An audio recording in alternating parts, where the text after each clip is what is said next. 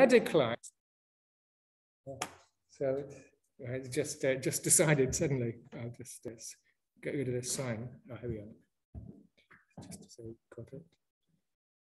Ah, yeah, so it's gone. Yeah. So, um, yeah. So, uh, and this US-led system also was built in 1945 onwards. I, again, I'll avoid the details, but two key arms to the US-led system. The first one was the Bretton Woods institutions, and that's World Bank, IMF, and including within that framework the Marshall Plan for the restoration of the West European economies uh, after the end of the uh, Second World War.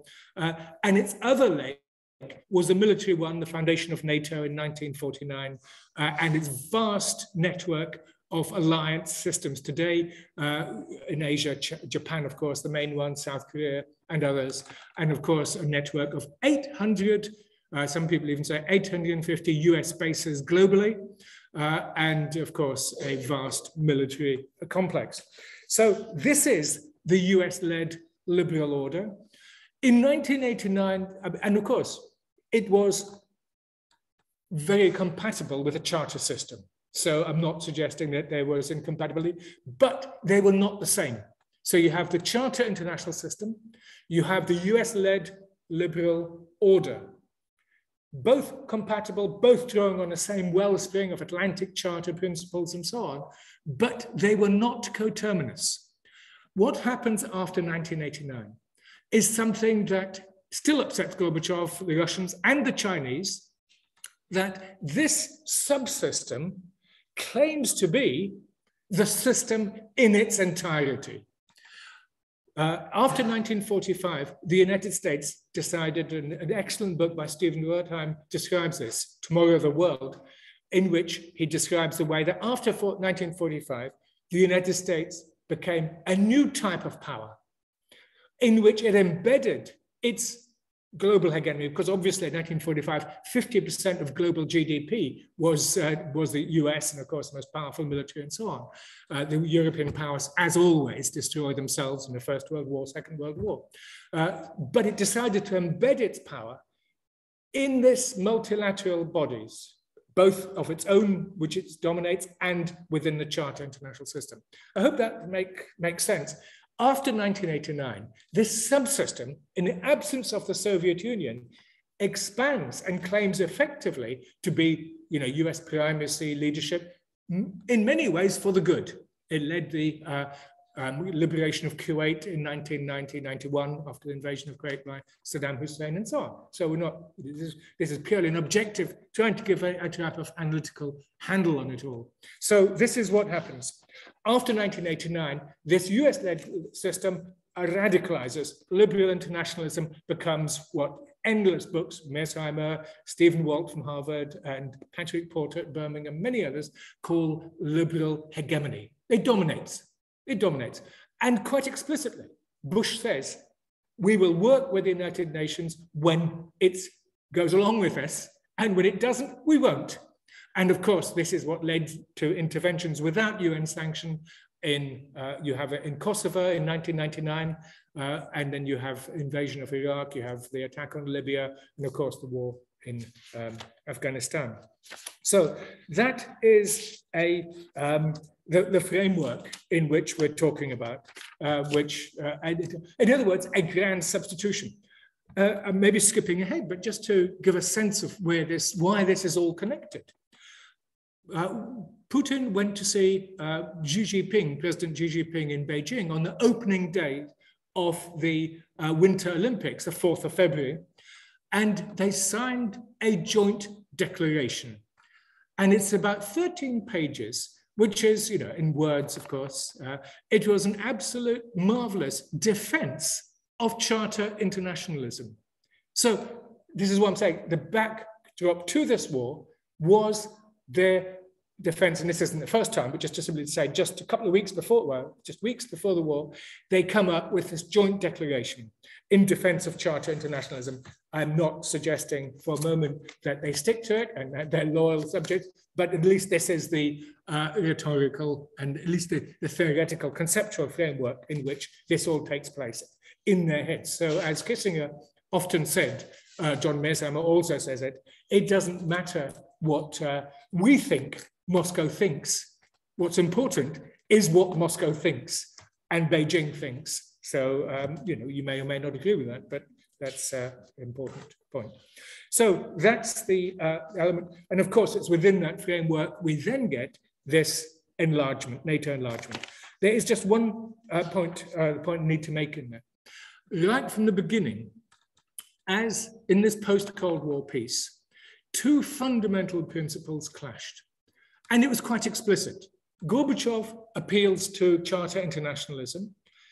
Every single major Cold War, post-Cold War document has a tension within it, reflecting this double duality which I've just outlined. And I refer to the Helsinki Final Act of August 1975, the Paris Charter on a New Europe of November 1990, the Istanbul Declaration of uh, October 1999, and the Astana Declaration of 2010, and many, many more. But if you look at them, and I have done just recently, all of them appeal to two different elements of Charter internationalism. The first one is that peace is indivisible, that no country should try to establish its own security at the expense of another. And is there, black and white, in all these documents. At the same time, these self-same documents stress that each state can make its own choice of peace system and alliances and so on. So you have a tension within these two peace orders going on. The one, the Gorbachevian vision, if you like, the charter system, appeals to indivisibility of security. The second one emphasizes free choice. And in fact, this free choice idea was uh, very explicitly, Bush Sr. explicitly challenged Gorbachev's agenda. He explicitly said, look, those Soviets are getting a bit uppity. They're beginning to seize the popular imagination. As I said, some of us are not in the first flush of youth and we'll remember the years in the late 1980s, remember the common European home idea. And indeed, many to this day are still inspired by what Gorbachev did at that time and his principles of common, of freedom, of transcending not just the Cold War, but the logic of Cold War. That's what Gorbachev was about. And quite explicitly, the Washington administration said, you know, it, uh, you know, it's down there in the memoirs of Bush Senior and Brent Scowcroft, National Security Advisor. We've got to stop this. They actually said we've got to seize the ideological agenda the Soviets have given up communism, revolutionary socialism, but they're doing something even worse now. They're seizing the Western agenda as well. We've got to um, get back into the driving seat. And what they came up with, Bush Senior, and it, uh, it's explicit, they come up with this notion of Europe whole and free, which is a deliberate counter to Gorbachev's common European home. And the two symbolize the gulf between two peace orders so I'll leave that there, but simply to say that both these orders were compatible because both draw on the same charter international principles. A bit of goodwill, a bit of common sense, a bit of pragmatism, a bit of what they call now statecraft. In other words, good old fashioned diplomacy could have reconciled all of this. It could have done. And this is what the astonishing thing, this is what has made this conflict so bitter is because leadership in Beijing and Moscow and elsewhere say, look, you know, what are we actually, conf- what's the conflict about? Because we don't actually disagree with you. We just make, let's try to make this work. But they didn't because uh, quite clearly NATO, they said, look, NATO enlargement, and even NATO enlargement in and of itself is not such a bad thing. Gorbachev, uh, Putin said, look, okay, let us join it. Let us all try to find a way. Even the most um, aggressive partisan of NATO enlargement, Zbigniew Brzezinski, he was national security advisor under Jimmy Carter in the late 1970s and one of the most perceptive comments, and of course, virulent Russophobe, as many Poles are, uh, who actually said, look, NATO enlargement must take place. However, obviously, we can't just do it in a void.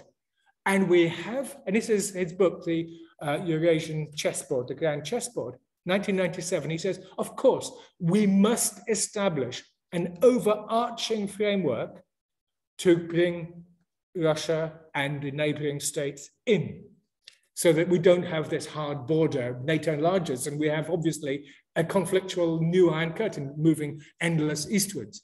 This is Brzezinski in 1997, and so many others.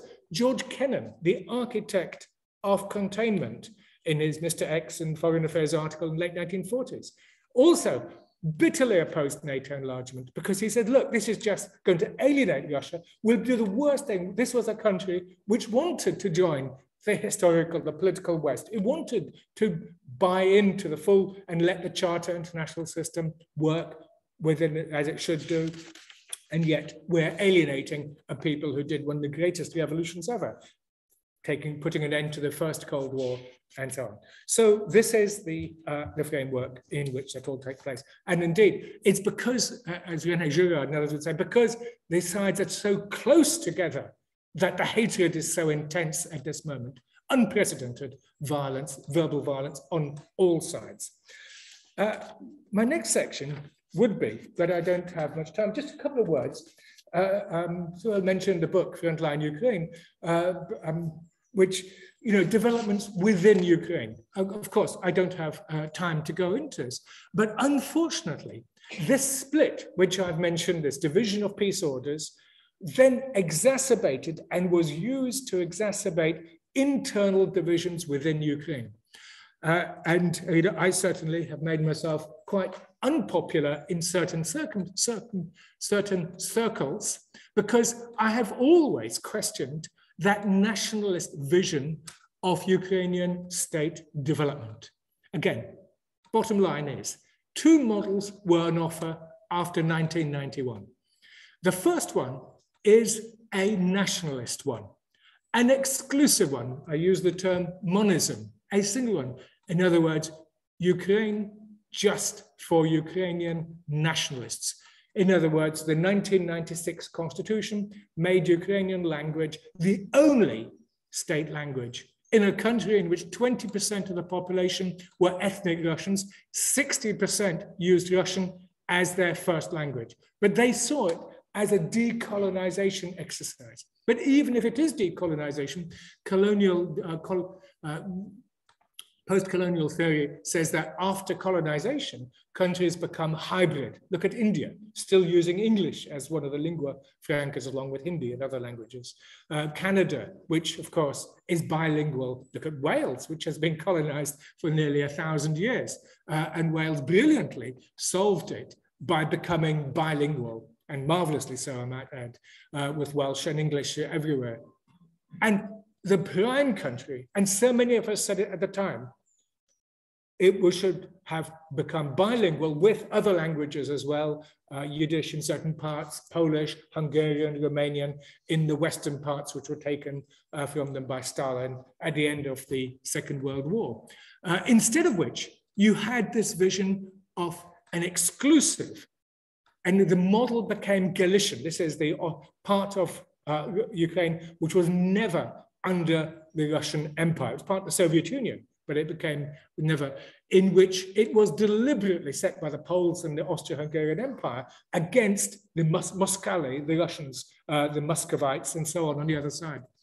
1991, and this was the big debates we had at the time, uh, should have gone towards a different vision. Can I just say the nationalist vision was at many times also generous, open-hearted, and it wasn't, you know, I'm not, you know, it was also had, you know, a very positive side, civic element to it, nation building. And I certainly am one of the people who would strongly say that Ukraine obviously should have made Ukrainian a state language and compulsory to be taught at schools like uh, Welsh is in Wales to a certain level. Uh, so, you know, uh, no one is saying that it should not have become, you know, one of the glues of this new modern, independent, sovereign, democratic state.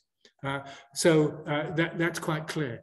However, uh, by then going to this next point, I make myself, as you can imagine, not too popular with those rather narrow-minded nationalists. By the way, the same issue um, also played out in Latvia and in Estonia.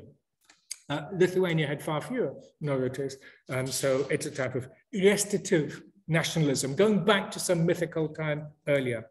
So uh, this um, second vision is the one which I really sort of alluded to, and that is to make Ukraine a multicultural, a multi-ethnic, and indeed to take joy out of its plurality, out of its diverse histories, Novorossiya, which was the bit which Lenin, so Putin is absolutely right. This bit of Ukraine was never part of Ukraine all the way through Odessa, all the way through to, uh, uh, to Donetsk until 1922. It was never, but of course, these borders were fluid. All countries are artificial. I'm not suggesting for a second that, in a sense, that they should have been carved away the way they are being done today. Simply saying that this diversity of the way that Ukraine developed should have become a positive instead of which it became endlessly divisive, that the elites played on the divisions between the two from both sides. The Russophone and the Ukrainian nationalists became more and more intractable, more and more violent, more and more full of hate on both sides. Hate to the point at which, when Donetsk, after the Maidan events of 2014, the overthrow of, the, of Yanukovych, uh, to which, when the uh, attack on the Donetsk took place, that they were, the population, 4 million in Donetsk and Lugansk, were dehumanized, called monsters, and it's in the book, uh, the language they used. And where did this hatred and violence come from? Uh, so it was already there. Of course, today, that Ukrainized language of violence and hatred is, we're all becoming Ukrainized in this worst sense in buying into this hatred and violence today. And hopefully this is why you know, I look to a, a new peace order. Uh, and indeed, so that would be uh, my, um, you know, final point, you know, how, uh, just to, um, I won't go into all the details of how we slid into war uh, towards the end of 2021 and the various peace treaties, because there were, uh, if you remember just at one point, effectively on the 17th of December, uh, um, Moscow put forwards a couple of peace treaties, uh, which would have gone back to what Medvedev put forwards in 2008. So this, this was nothing new. We've been sliding into war, but it was basically vetoed by Washington in 2008, 2009, and again, the door to diplomacy in December and January, when the response came, was not closed. There was still a diplomatic option. Uh, but by that point, uh, Moscow decided, look, we can't really talk because we've been talking about these issues for 15 years. There is nothing substantive about the indivisibility of security as far as the critics would have been concerned. All that Ukraine had to do was say five words. Ukraine will not join NATO. That's all that needed to be done. Uh, it wasn't, it's not going to join, it wasn't going to join for at least two decades. Instead of which, on the 19th of February, Zelensky at the Munich Security Conference warns or argues and suggests that Ukraine will become a nuclear power again, just as it was, it was a legacy power from the Soviet Union, which had its lots of rockets uh, based in Ukraine and which left uh, as, as part of the framework of the Budapest Memorandum in 1994. So uh, that's all that had to be done. And yet this is so, and usually, you know, for Iran, there's been how many sanctions on it when it's wanting to become a nuclear power. When Ukraine declares it may become a nuclear power, in the presence of Western leaders, not a peep of objection, not a peep. And these are the trigger events which makes Putin pull the trigger on the 24th. Now, uh, you know, this, this is a, an attempt to explain where we got and the tragedy and why it's so deeply embedded, this war, and why it'll be so intractable and why there is, in my view, almost no way out of it unless, you know, it's endless discussion of what sort of peace treaty there can be. But as far as I'm concerned, and that's what I've tried to suggest today, is that until we even cha we change our mental horizons of the framework of this war, then there will be no peace. Thank you. Thank you.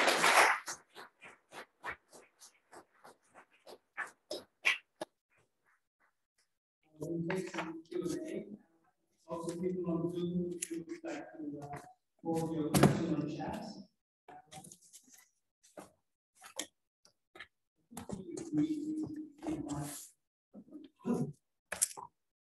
During the Jubilee celebrations, the event happened in the Far East, in Chinese River, therefore, very close to Taiwan. The Americans sent out large forces None, none of this has really been clear in the region. Similarly, the North Koreans have been ready uh, into missiles. That's also been kind of the region. But I would say that somebody who's interested in that part of the world, but it's potentially very serious. And although it's still might be that part of the world.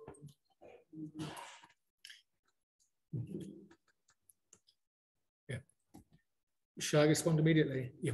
Uh, thank you very much for that. Uh, thanks. That, that's a that's a huge, important aspect of this conflict is the whole East Asian aspect of it. I mentioned that joint declaration with Xi Jinping on the 4th of February, uh, and there's been a lot of uh, speculation that you know the Chinese could use this as an opportunity to go for Taiwan and so on. I don't think so, and in fact, Beijing is quite clearly, in fact, gets very annoyed uh, about this. However, that logic which led to us you know, I, I see what's going on in Ukraine today as just a continuation. Uh, there's a marvelous book by Mark Mazower called Dark Continent, in which you, you know he, he talks about Europe in the 20th century plunging into these what he calls civil war. I see what's going on in Ukraine today. Again, one of those classic civil wars in the north. The global south does not buy into this the logic of this. They can't see it. ASEAN, for example, has a different, you know, ASEAN countries, Indonesia and so on, has a different model of the way things should go. However, there is increasing concern that if they can say this Western sickness, you know, basically two Westerners in an empty field will start a war within six weeks as far as Asians are concerned. I mean, just simply cannot get it out of their head, this militarism and this violence. Uh, and what they're saying now is that the United States has pushed that logic of conflict into East Asia. And uh, Japan, for example, has been mobilized. If you saw Biden was in Japan just recently, this is why this is going on. In fact, um, maybe didn't say this very well. This traffic, yes, they have uh, uh, done quite militantly uh, against Taiwan. This has actually been building for some time, this wolf warrior diplomacy, which has been going on, developed for since 2019. The, the term was introduced, wolf warrior diplomacy, very robust, because basically, as Wang Yi, the Chinese foreign minister, and Yang Jiechi, who is a Politburo member in all of this, have said, for example, that meeting in Anchorage with Antony Blinken and Jake Sullivan, do you remember that meeting in Alaska? In which the Chinese who are usually exceptionally polite, said, we, basically, they did a Putin. They said, we've had enough. We've had enough of your Western arrogance. We've had enough of your pushing. You burnt down our summer palace in 1860. You've never apologized for that, etc. This sort of rhetoric, you know, uh, of the, the century of humiliation. And now you're trying to humiliate and import your logic of conflict into East Asia. We've had enough. And now you're also Trump and Biden, Biden in Japan, if you remember, just a few days ago, and that's what another specific response, he said that, you know, over Taiwan, as you know, the history of Taiwan is that the nationalists under Chiang Kai-shek escaped Taiwan after their defeat in the Civil War in 1949. And Taiwan, Formosa, until then had always been a province of China for 5,000 years, effectively. And of course, they escaped. And the US and Western policy, until recently, has been strategic ambiguity. They do not recognize the independence of Taiwan.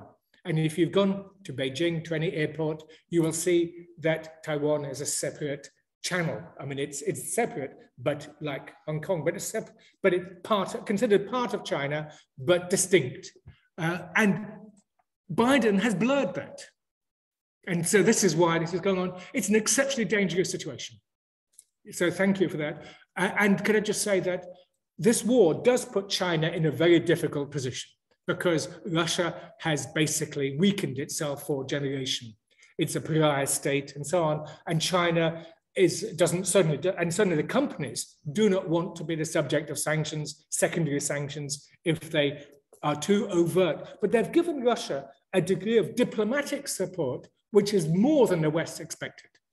So there's much, you know, self-congratulation in the West, the, the unity in imposing and damaging the Russian economy and harming the Russian people today.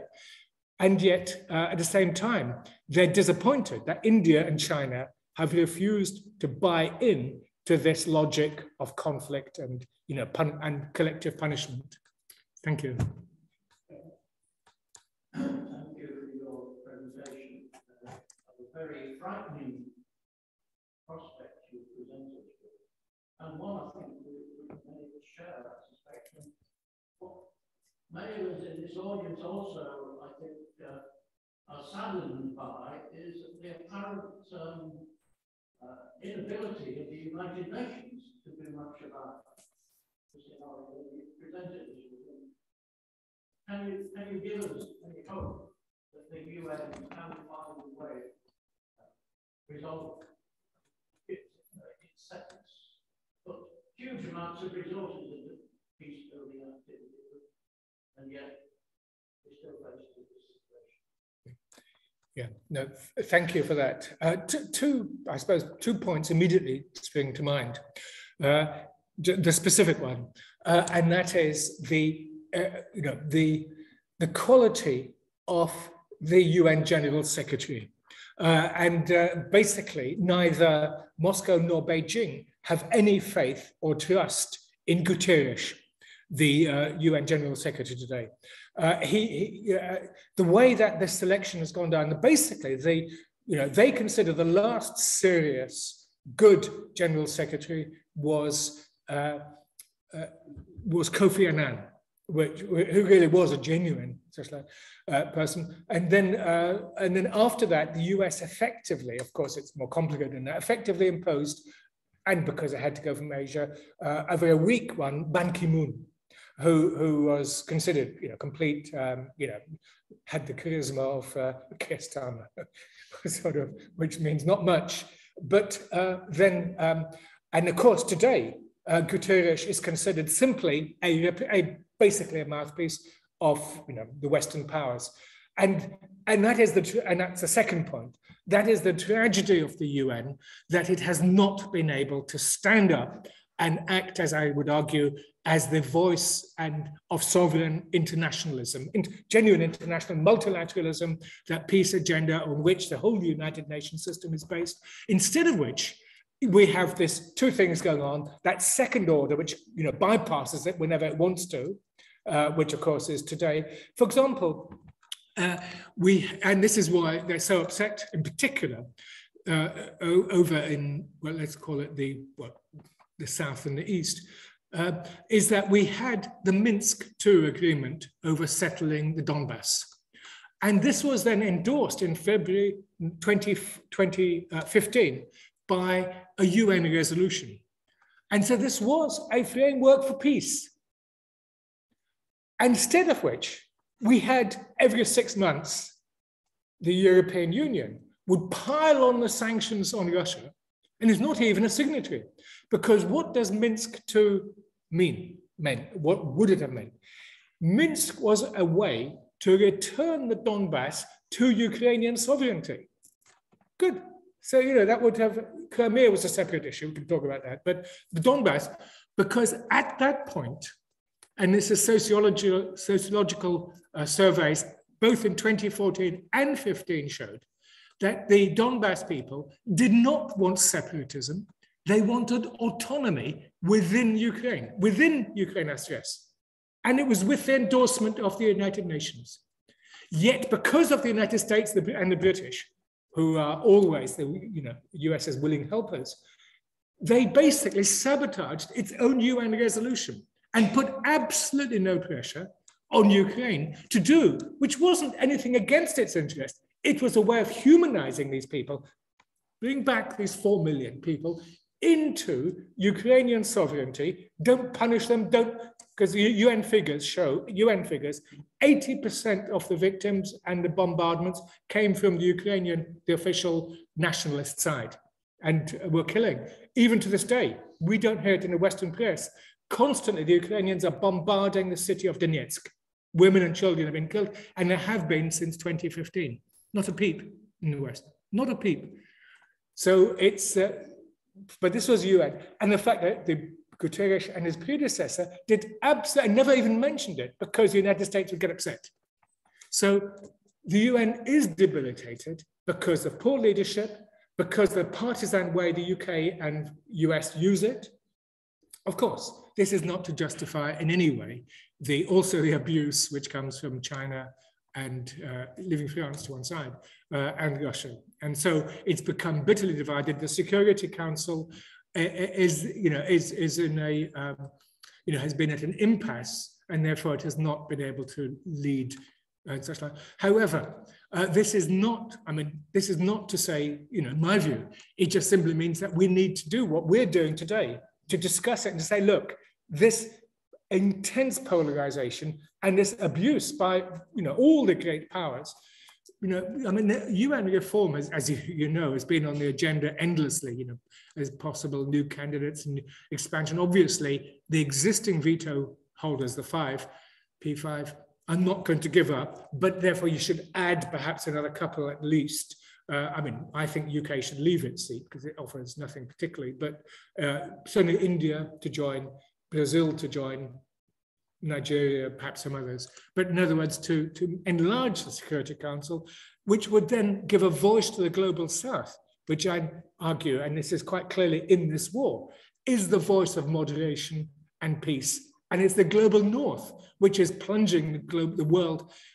And just to add, which you didn't ask, but just to say, what's even worse today is that this totally unnecessary war is destroying the agenda of dealing with climate change, which is far more things. And at the same time, it's driving a, you know, a move towards you know, more the nuclearization of international politics.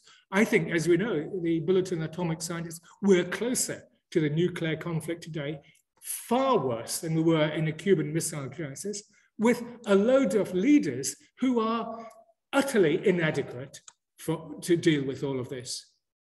I mean, obviously Biden is, you know, basically this is Biden's war. Basically, they took a decision, you know, we're not going to, we're going to push uh, and so on. And United Nations is standing on the sideline. So thank you for that. It's a tragedy. But that, you know, I just think we double down and support the UN system and you know, say how its principles can work. I've got a question for everybody else. Yeah, I just got one quick one. Yeah, I'll put you in a second. Uh, people on Zoom, if you have a question, please put it in the chat. Uh, let me take one question before you. Uh, I've got a question about mainstream, mainstream media. Mm. Uh, I mean, I find mainstream media so one-sided, so just uh, negative, uh, that I'm having to go to China Daily, Hindustan Times, Arab, Asia Times is very good, by the way. Asia Times, yeah. stopping uh, debates, two-sided debates in happening. You know, Jeffrey Sachs and Simon and others are not giving time I mean, what benefit can they achieve out of this? Uh, thank you for that. It's it's a bit of disgrace. Um, you know, I'm joking now. The BBC should rename itself the UBC, the Ukrainian Broadcasting Corporation, because its uh, its uh, reportage has been beyond bad. It's been tendentious, and in fact, it's been whipping up war fever. So it's part of this Ukraine hysteria, which I think is exceptionally dangerous. The, the feeling is like uh, August, September 1914, is that everybody, you remember they were smashing the German shops uh, in Moscow and in London and so on, or others. It's that sort of atmosphere, you know, war fever has seized the nation, and that's why, you know, why you know, an anti-militarist session like this is so important. The media has utterly disgraced itself, of course, it's right to report about the suffering and the catastrophe and the abomination which is this war. Of course, no one says it isn't. Um, but, uh, but the way, in a tendentious way in which uh, it's worse than this because uh, as the media coverage is not just bad, it's actually deliberately manipulated. And this is uh, done by this fellow called Alexei Arestovich, who is uh, at the head of Zelensky's uh, media operation. And they're very clever. You know, he's, uh, he's an actor. And he, they've hired 600 PR people in Washington alone. I mean, these are companies who then have their, you know, different things uh, encased to, uh, in Washington, DC. And they're pumping out this stuff daily, uncritically then accepted by the British media uh, over and over again. Uh, and, you know, there's many contested incidents, uh, which, but the worst thing is that even anybody who even questions what's going on is then delegitimated and said, you're Putin stooge, you're Putin a Kremlin a fellow traveler, and so on. So it's, I said, the atmosphere is McCarthyite and worse than anything even in the first Cold War. So you're absolutely right. And what is interesting in all of this is exactly what I, I would have said, is how good the Asian uh, reportage has been.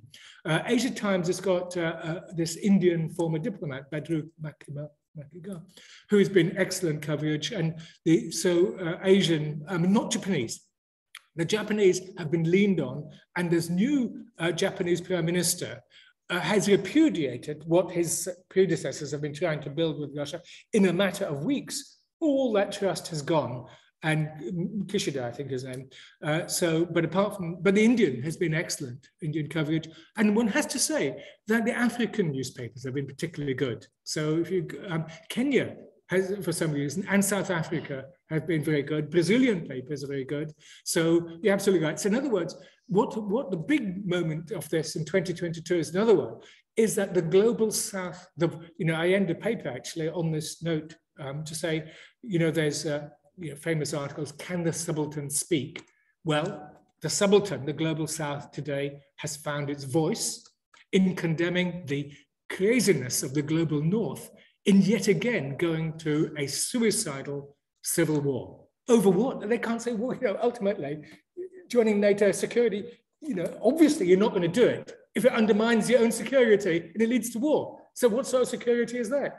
But you know what those knuckleheads in the north haven't been able to um, you know understand that. But so thank you.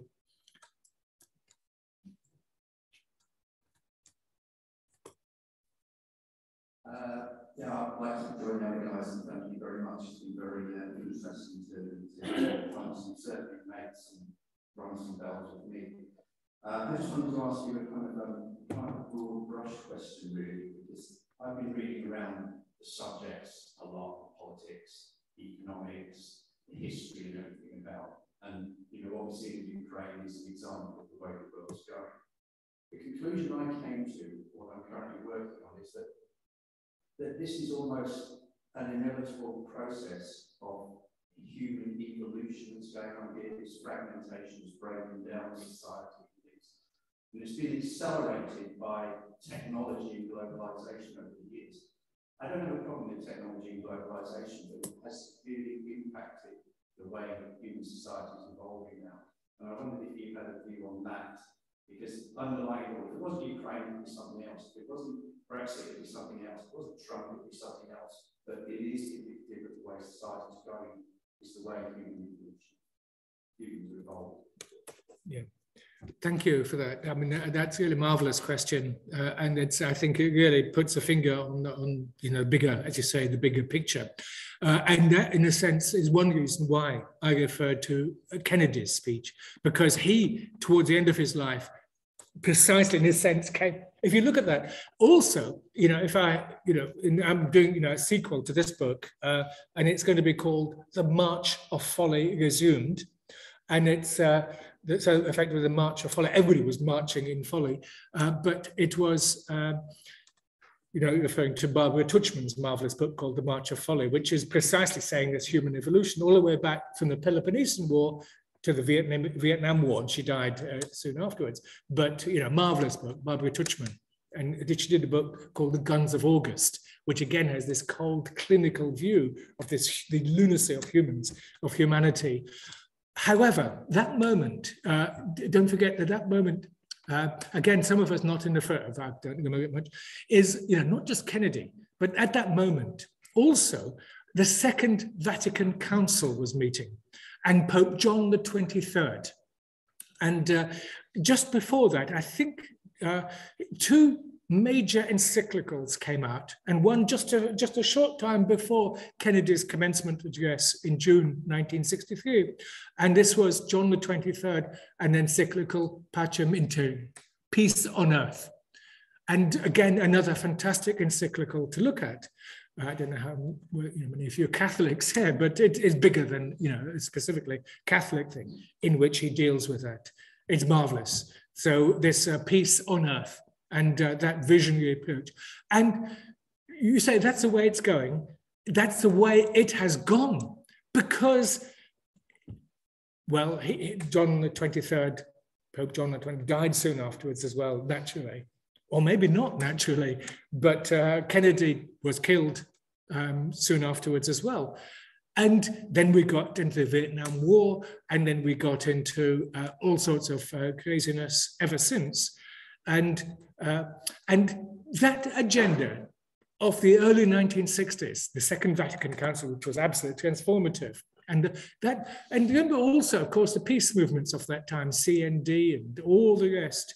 Uh, and today, if we look around, uh, certainly in the UK, the political sterility, the, the, the vulgarity of public discourse, the, uh, the atmosphere of militaristic hatred, the uncritical, I mean, I mean, again, it is not a partisan question point, which I'm going to make now. It's simply to say people we can work with, because I've been working with um, Stop the War Coalition, and that means Jeremy Corbyn. Uh, but we were on a session again, you know, I'm not making a partisan point, you know, they make plenty of criticisms about his leadership of the Labour Party and so on. But just simply the Stop the War coalition has been right on the big questions over the last few years of war and peace. Um, but when we were on a session, actually, it was precisely that evening when Keir Starmer announced, and he made and he confirmed it a bit later, that opposition to NATO is incompatible with Labour Party membership. That is unbelievable. This is unequivocal. He says you can be anti, anti-NATO, but you can't, you have to be expelled from the Labour Party because the Labour Party, we always know, is a broad church and its, its anti-war wing has been, you know, one of its most noble traditions. So in other words, not only is it bad, what you've just said, but it's explicitly making it worse. It is deliberately closing down debate, closing down options and using authoritarian methods to do it. And so the total sterility of uh, our public discourse today and uh, the, the, you know, and as I said, anybody, I, you know, I, do you know, to, I'll be honest, I expected, I, when we came in through the door, I was going to say, uh, is there a picket outside today?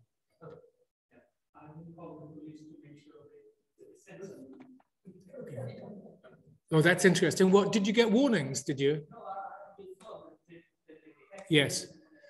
Uh, because we're talking about peace and alternative, I gave a talk in Canterbury last Monday, uh, and it was at the Friends Meeting House, the Quaker Meeting House, which you know really great people. And uh, we had about 20 Ukrainians with a flag and so on outside.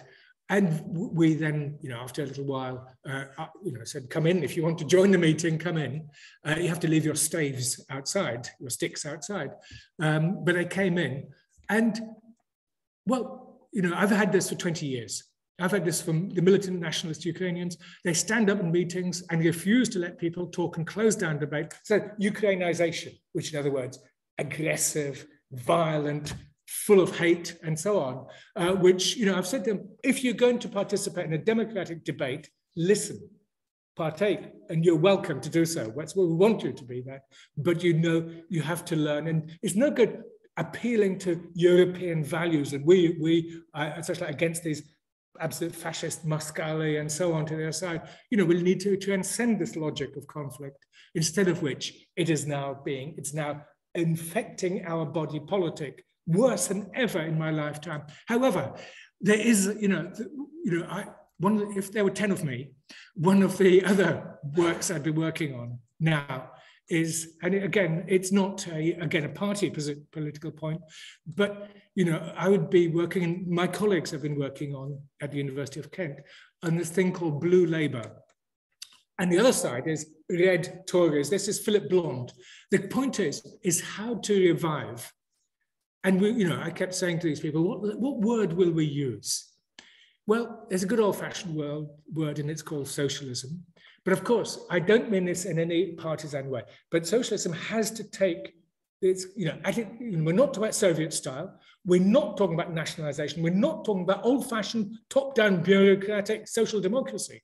We're talking about what is happening at the grassroots in places like Bolton and places elsewhere. This is uh, the mayor of Bolton uh, actually talks, and he used this term, normal socialism. That is for people to have decent housing, that their, their wages will meet, you know, so they don't, there's not a choice between heating and eating and all of that. That's normal, call it normal conservatism with a small c. In other words, conservative, small c socialism, small c conservatism coming together in the best form of one nation Toryism and so on. So that is the agenda which we're working on. So, but I think it's just at the beginning, but I think we are at a turning point that the 40 odd years of, uh, of neoliberalism, which has hollowed out the state, but worse than that, hollowed out public discourse, hollowed out democracy, is we're just at the beginning of a turning point now. So I'm actually uh, reasonably, if if, uh, if, if they don't get me, um, which they will already condemning, they're sending you know nasty letters to the university and so on, should be sacked and such like. Um, you know, this is where we've got to. I mean, it's shocking. This is where we've got to. I was so shocked. Um, but in other words, you know, we have to start rebuilding from the bottom up. Uh, we've got a question. Just here uh, we've got a question on Zoom, but before that, you want to take it? Oh, yeah, well, um, yes. The battery is running. So excuse me. The battery is running low. I don't know whether you've got a lead or something, because it's it's going to um, cut out in a minute.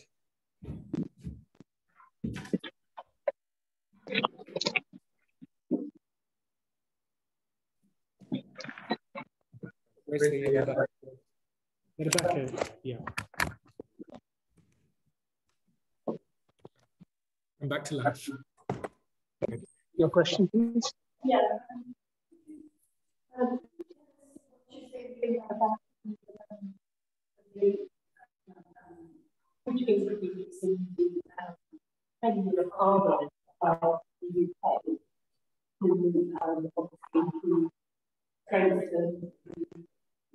Ukraine's uh,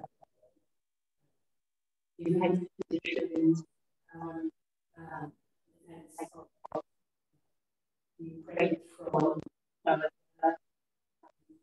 incursions by Russia into areas which it has already held.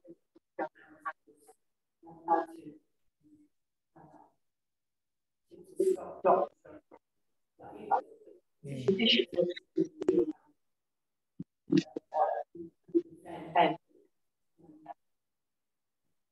Huge upgrade, if you like,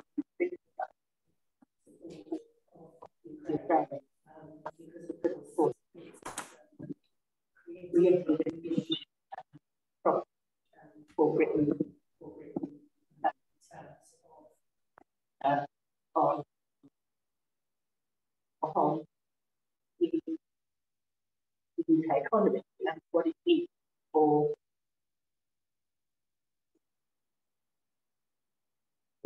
Thank you. Sorry, let me just repeat for those on Zoom who couldn't hear that. It was. It's plugged in. I know um, set on a plug and it's, it's turned on at the plug there. Turned on. It's, it's still cut out, even though.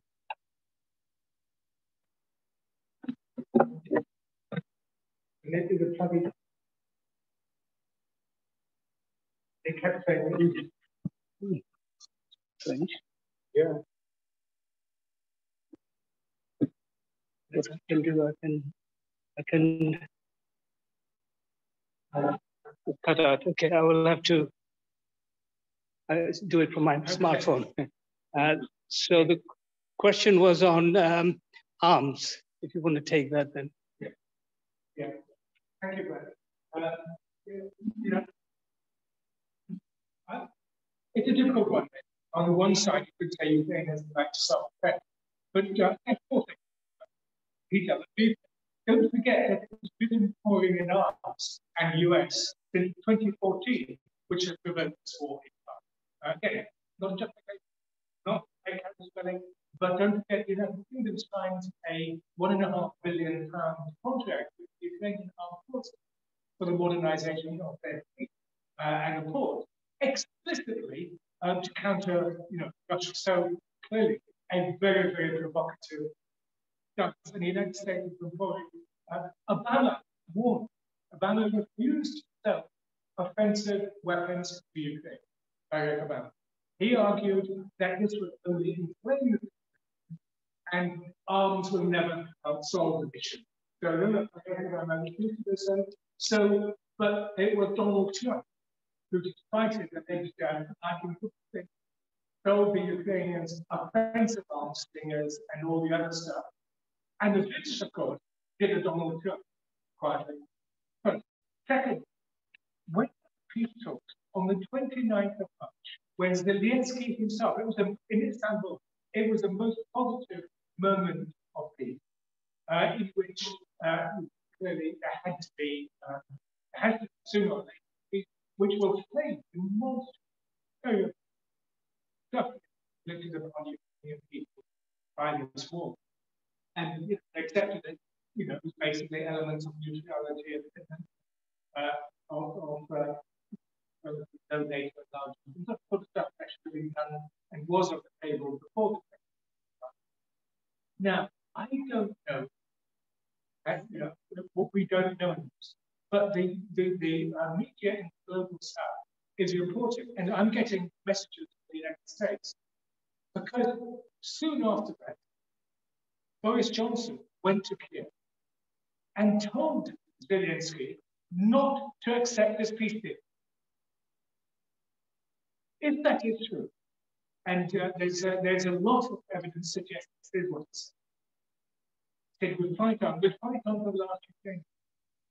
If he did say that, I mean, of course, Biden's been saying what to say as well, uh, then this would be one of the greatest. Because arms will not solve this, however much we may pile in. All it does is prolong the suffering.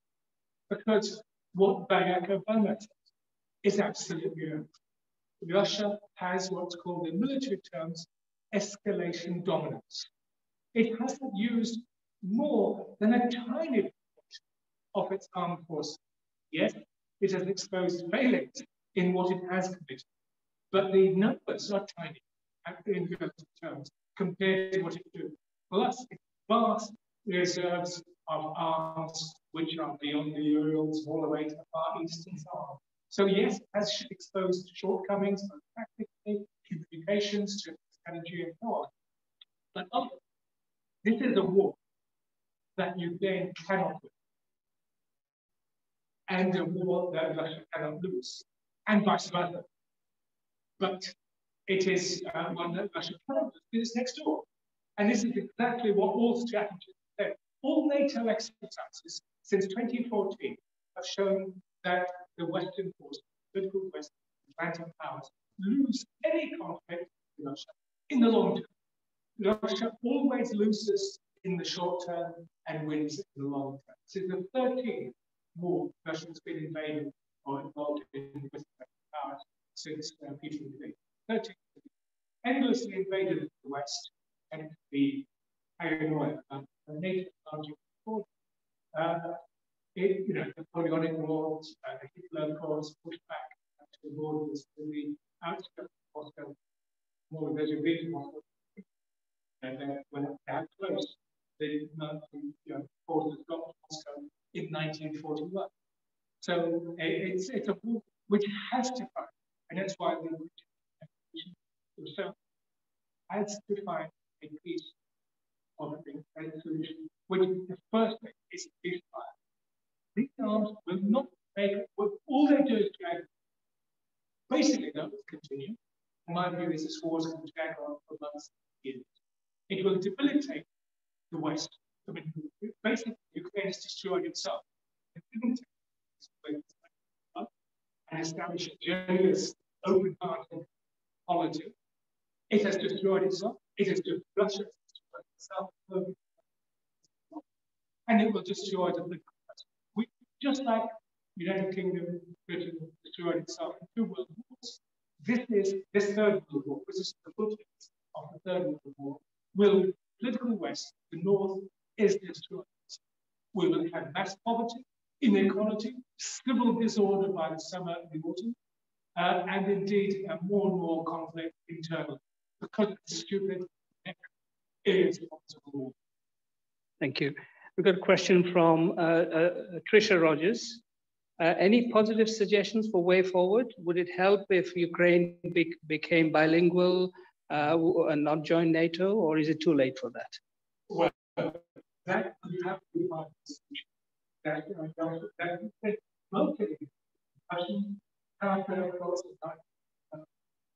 and many other languages, but in other words, this nationalist from this area, the best. I really I want to see Ukrainian language, Ukrainian culture, powered and developed. So I have started intelligence and uh, constantly to us. Yeah, and it's all very fine. I no one has ever said no. We just simply don't build for the food for life. Don't pile in the arms. Don't pile in the arms. Don't establish Ukraine as a platform for anti-Russian military. This is what it was. Putting it's actually good. Ukraine, and this is quite explicit. I mean, if you look at what so much, because after the faith of Kennedy, the United States never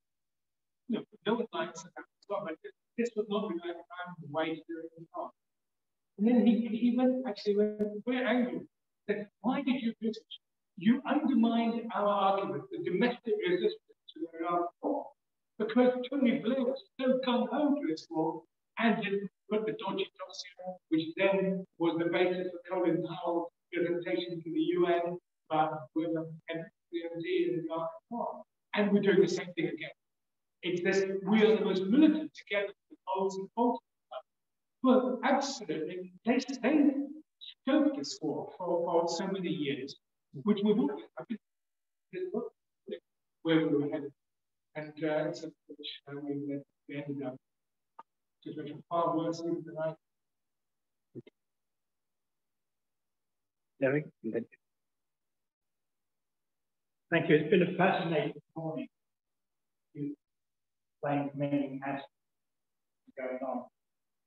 I read it due to saying many years the essay last year Ukraine is not a nation. It was various reasons for that. What I don't understand what impact can be that in the Russian speaking part is at for 9 and uh, taking over of the next so when you get to um, there's going to be changes to it be the they're destroying it. And I wonder what the that on the Russians That, that, that's important question. That's why I think that spending more the important. Because if the people that we think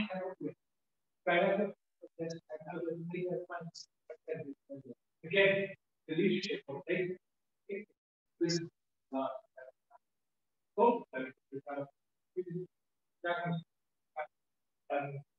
So it, was because we don't have this sword.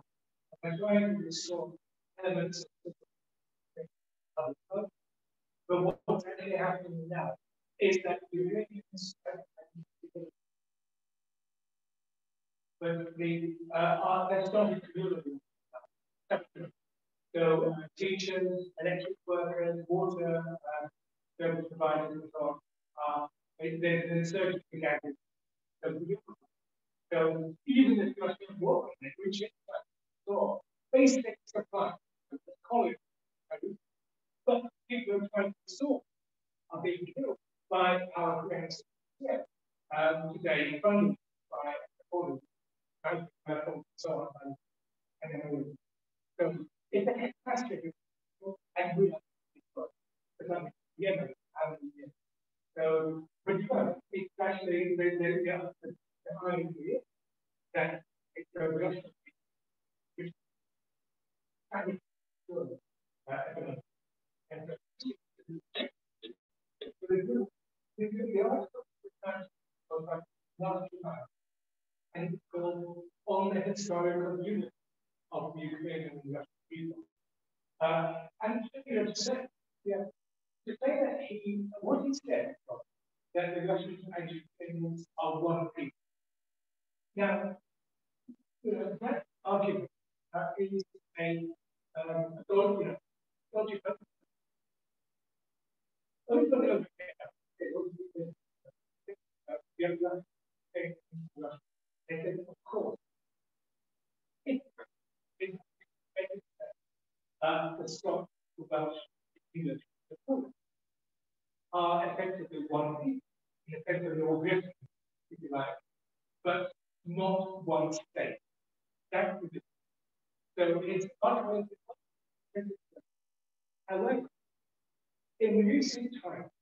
he has been questioning the very foundation of the modern Ukrainian state in arguing that because if you look back to the historical thing, which joined with Russia before, when treaty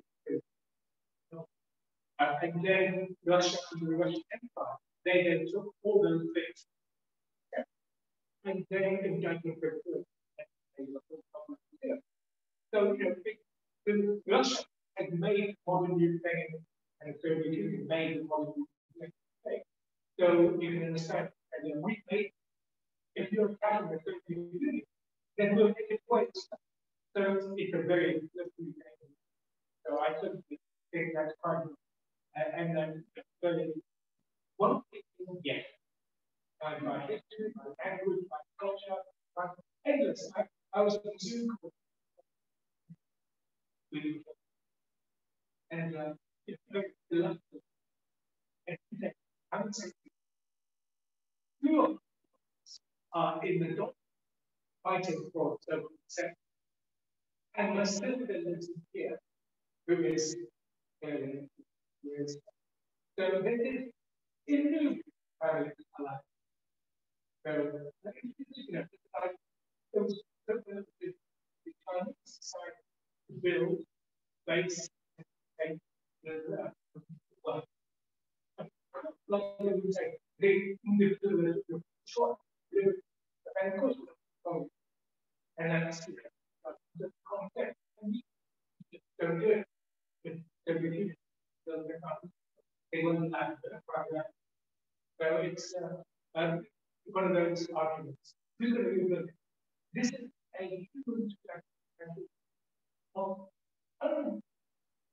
investment when I, I'm sure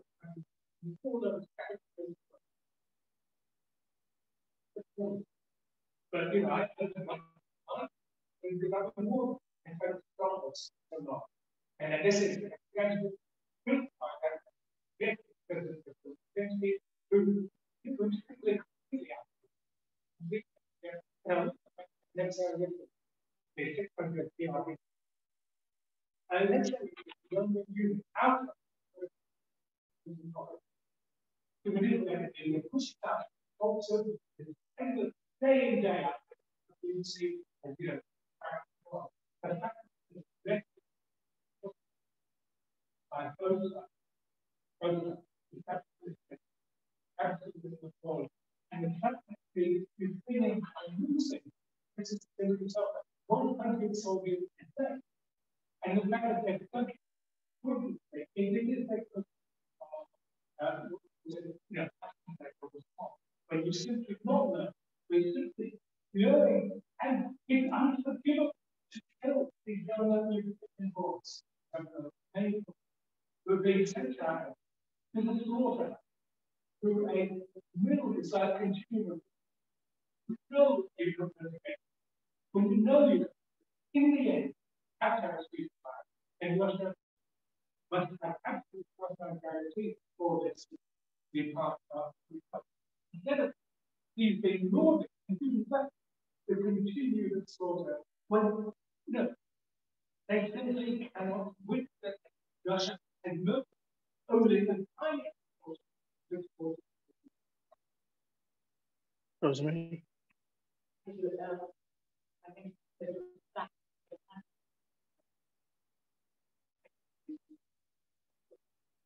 that's where it starts.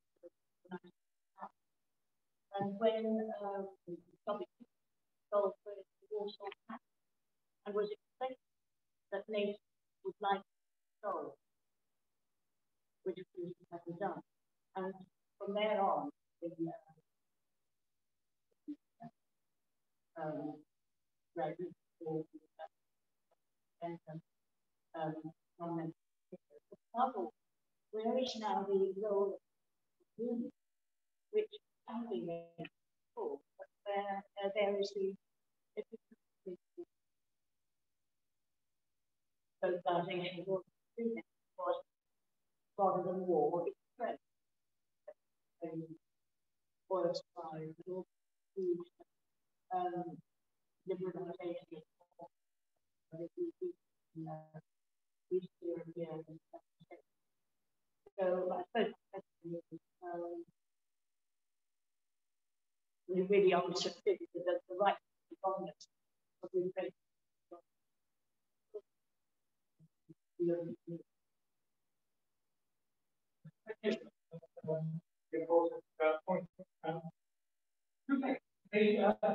in 1989, you set in the Warsaw Pact, uh, and we expected not just uh, uh, to the way uh, the alliance is moving along, along with the opposition, and effectively one kind of war like But said we can lose it, we to change the terms of the. Uh, one thing which uh, I, in the Kennedy's speech, uh, Wednesday, uh, Kennedy uh, emphasized that peace as a process. And that's what I think you're after 1989, everybody expected, you know, people break out powers, you know, like you know, uh, and the who create powers. But we have to work pieces together. It has to be thought uh, and, you know, and sides. And, and uh, one of the ways in which that the things about was a thing called partnership by sponsored by but and it was a partnership was what Doris Young thought they were being offered. Uh, and that partnership piece uh, was genuine. Like, uh, one of the people who was William Burns. William Burns was uh, the US Embassy in Moscow. Then he returned to Moscow and back is the. And who you know, uh, William Burns is one of the most able and intelligent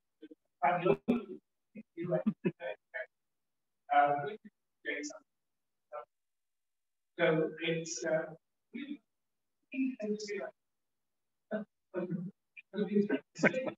and then there's he said he was he was part of it. he said all this is not uh,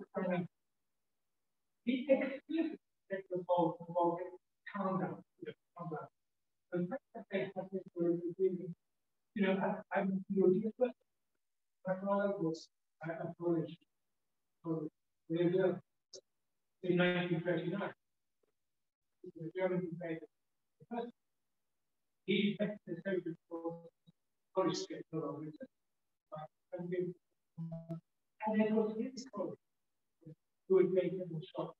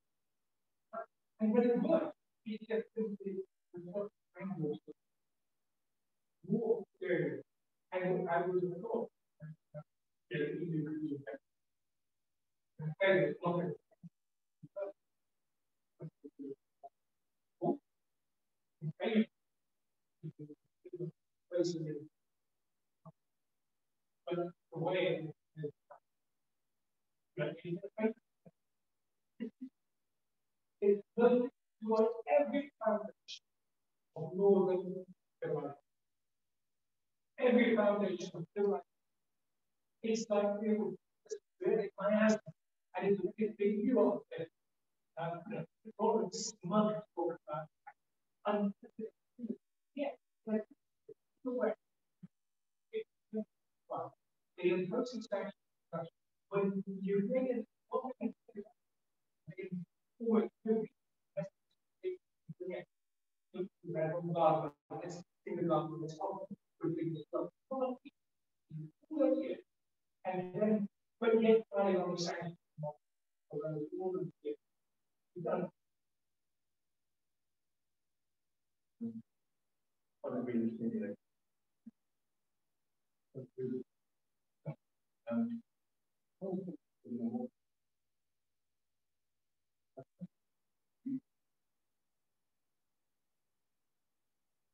Thank you.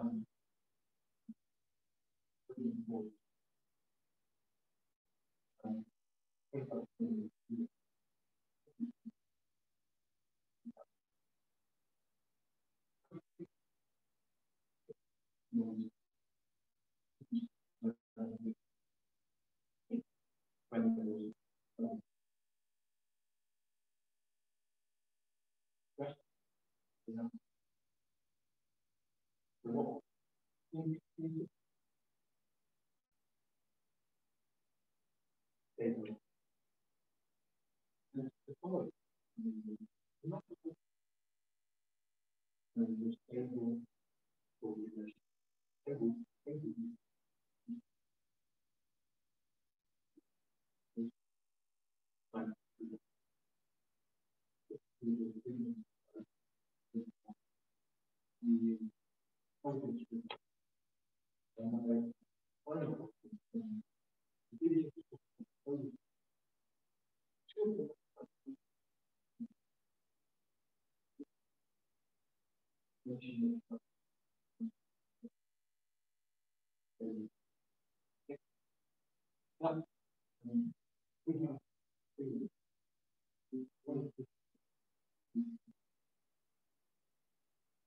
not?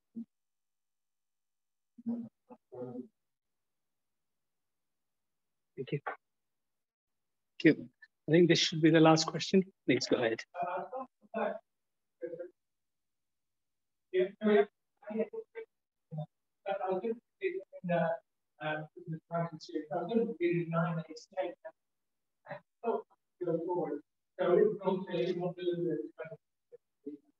yeah, any understanding of that big, big in industry and the, and the debate. because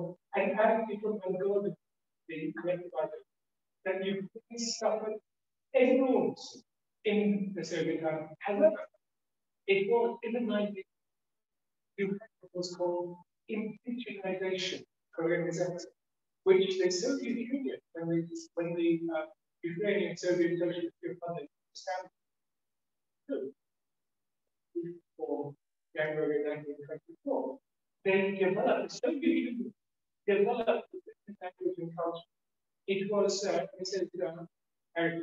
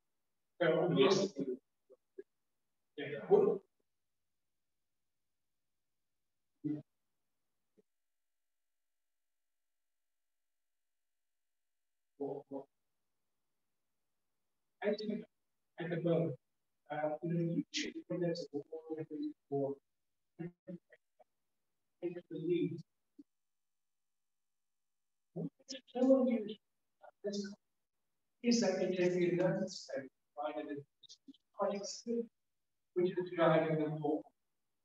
And so if you push it, there have been right? that corrects. After the meeting in Istanbul, 2019, two of the natives of Ukrainian were killed by the Ukrainian attack. One of them was called Dennis Kulik, uh, because he was I, I remember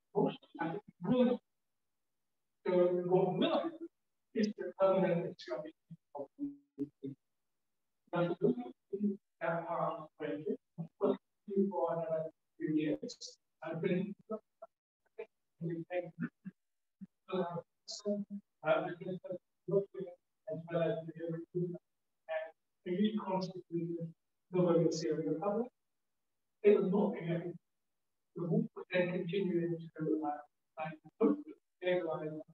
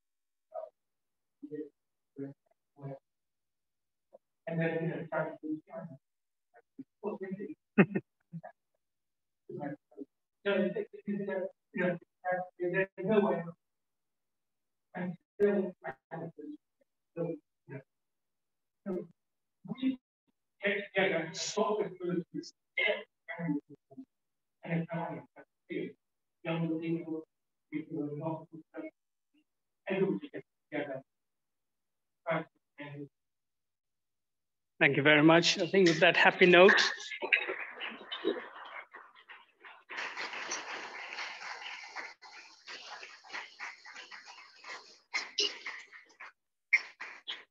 Thank you. Uh, please feel free to contribute as you leave, uh, but we need to close shop in five minutes.